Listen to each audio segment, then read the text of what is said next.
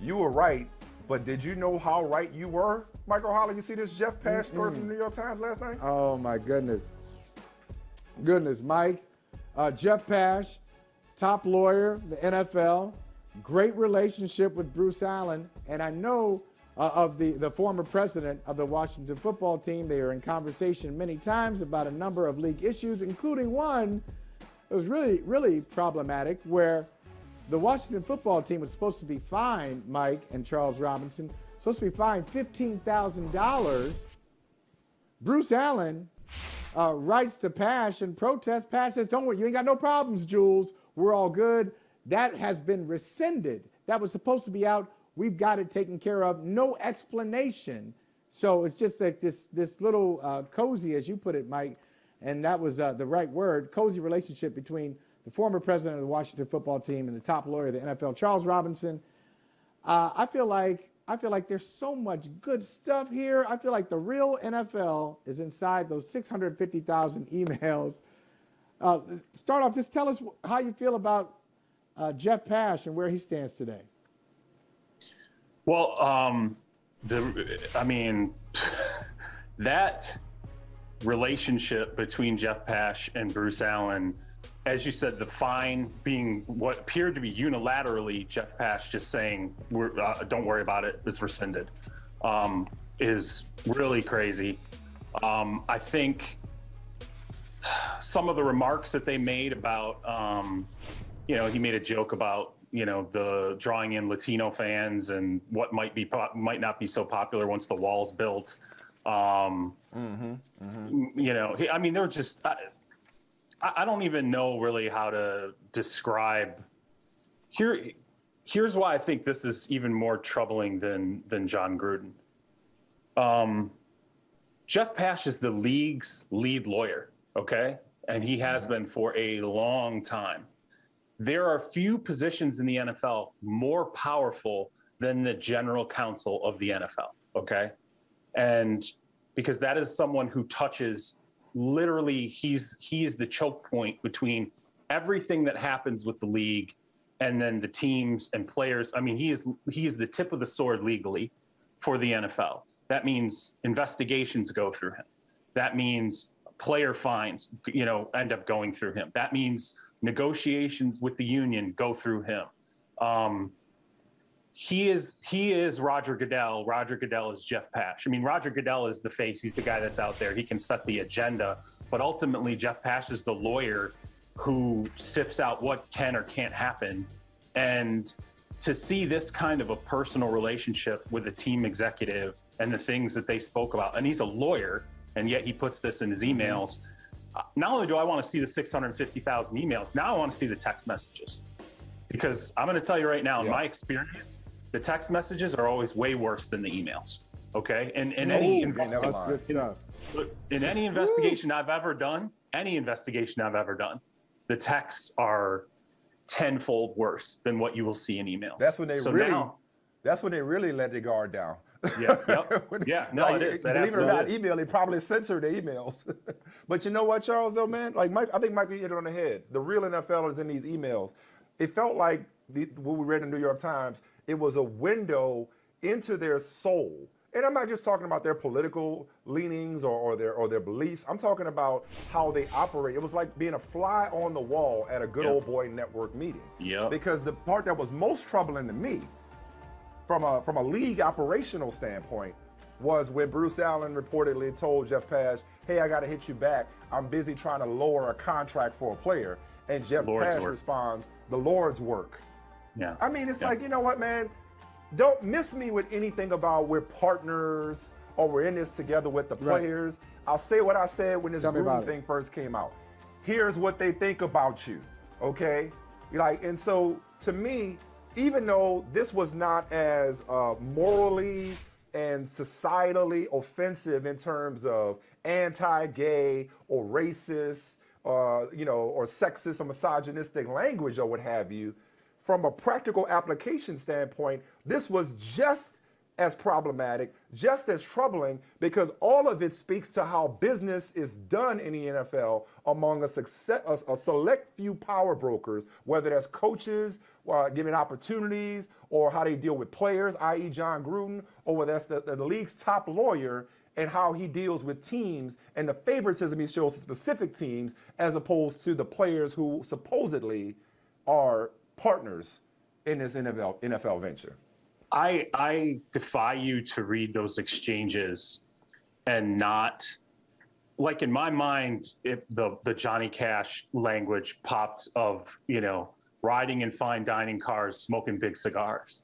Like this is to hmm. me behind the scenes you have the imagery of let's be honest here, white males in power broker positions who say things publicly, do things publicly, and then immediately hop on the private line to talk about how it's really going to go down. That's how it felt when you read that. It feels like there's one set of, of information that comes out for public consumption and imagery, and then there's a whole subset of information that, that occurs privately um, between these same individuals. And all it does is lean into what a lot of people consider conspiracy theories about the what gets you know who who's on strings and what's happening behind the curtain but now we're seeing it's maybe it's not a conspiracy theory. Maybe a lot of what happens behind the scenes gets cooked up. And i know people it pisses people off when you bring up colin kaepernick but anybody have any doubt that there was more cooked up behind the scenes on that one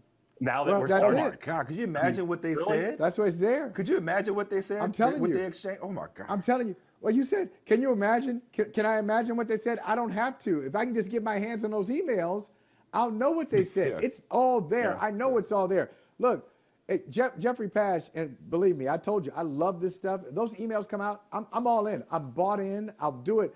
Hey, I'm surgical with it. I'm surgical with it, Mike and Charles. I really am. I, I remember reading all of the Deflategate stuff, and Jeffrey Kessler, who was Tom Brady's Deflategate lawyer, when he went to the appeal, he was able to just in a very small amount of time say, wait a minute, didn't y'all say the Wells report was independent? Yeah, yeah. Ted Wells, didn't you say that? Yeah. Jeffrey Pash, didn't you say that? Yeah. So who paid you to do? Who's paying you to be here today? And they had to admit that it's just all so it's this yeah. connection. So Jeffrey Pash and the Wells, like there, it's yeah. a whole. It's the secret network, man. It's and, the secret network, Charles. By the way, by the way, every single time anyone ever brings up Deflategate again, I'm just going to see that GIF of Ron Swanson bashing his phone with a hammer and think Tom Brady was right. Like he absolutely was like, I'm not giving you guys anything because you're not going to give us anything. You're not getting any of my private stuff. I'm not giving you any of my records. I'm not giving you my phone to dig through. You're sure not giving us your phone to dig through, right?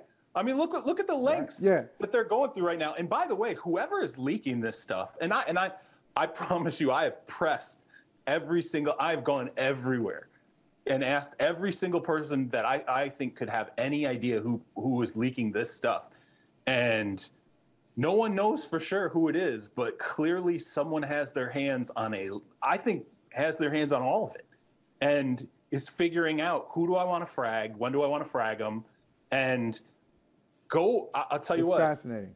It's, it's, that's it. a decade of now that we know, particularly that the lead lawyer was talking to Bruce Allen. I can't imagine who was talking to Dan Snyder. I can't imagine. But and and go through your mind. What other coaches ran through that organization? Sean McVay was in the organization. Kyle Shanahan, Mike Shanahan. I mean, go through, break down. Uh, it's that well, 650,000 emails might be the greatest thing in that's ever existed in terms of like calling one piece right. of information and, and lighting a fire. No, it's, it's like Raiders of the Lost Ark. Like it's just this lost treasure, or romance, or romance in the stone, or jewel in the Nile, or something. Like somebody got to find this damn thing. It'll be me and Mike. Like right. it's like when they like we're lifting the emails, like they're lifting the ark. yeah, pretty much. Yeah.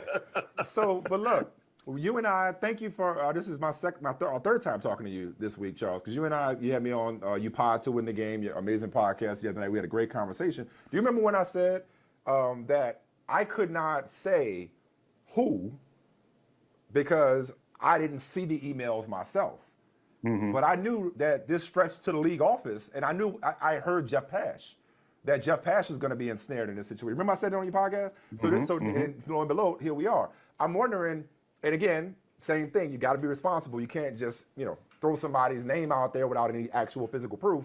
But not just what you're imagining, but through your network of sources. Like, are you hearing that something else could be coming out? Because we were clamoring for more emails. Now we got Jeff Pash. Are you hearing that some uh, Smith is like, I want to know more because this influences practices within the league?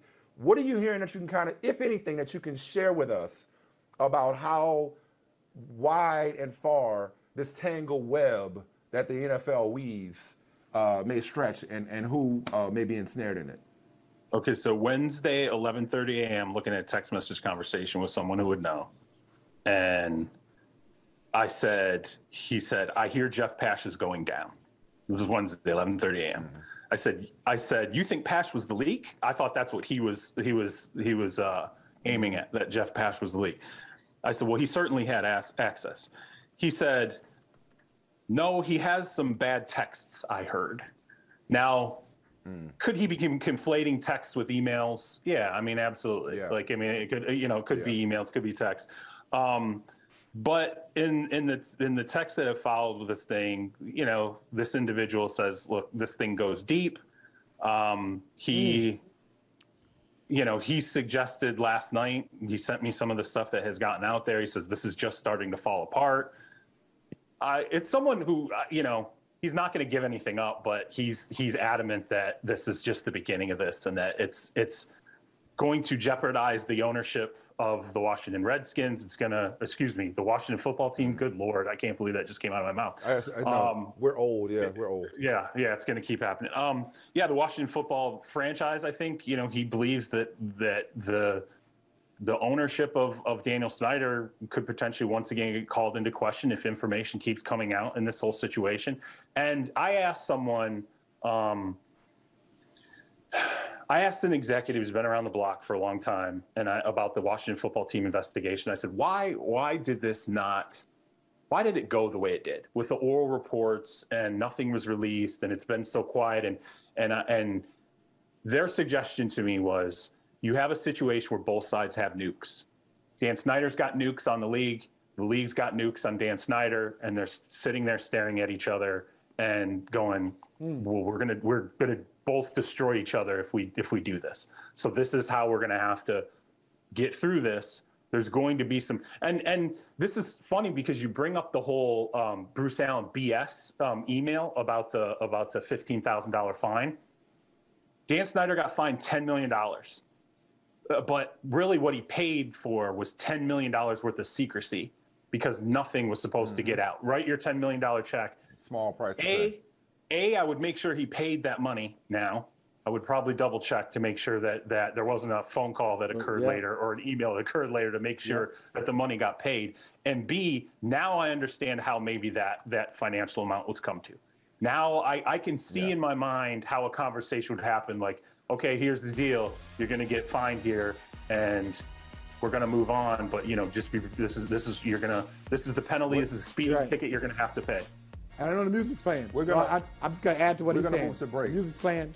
Go ahead. Yeah, we're gonna go to break. Hang around, Charles. I'm just gonna say this mm-hmm. though, for those who don't know, the owners had the right to push out Daniel Snyder at the time. They all declined to do it, and now you understand yeah. why nobody really stepped forward and said, "I want him out," because a lot of people have secrets. A lot of people got dirt yeah, on them. Exactly. Everybody got secrets. Everybody, everybody, everybody got secrets. Hey, thanks for watching Brother from Another on YouTube. Make sure you hit subscribe before you leave and be sure to watch us 3 to 5 p.m. Eastern Time on Peacock. Appreciate you.